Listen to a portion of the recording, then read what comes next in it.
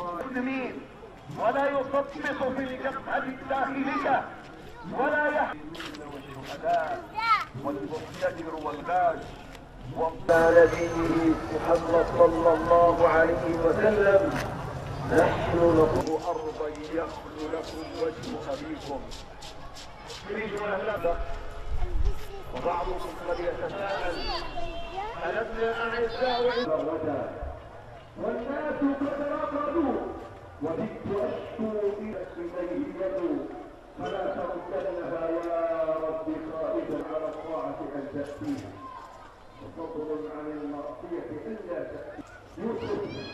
قال الله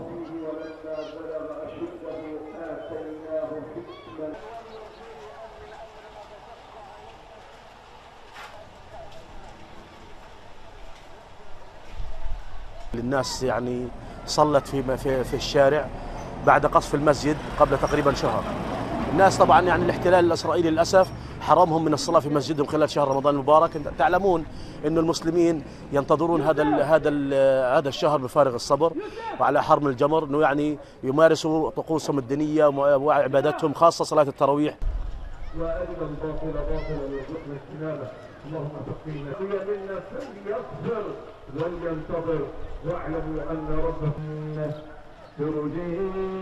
إلى ربك راضية صفا صفا ولي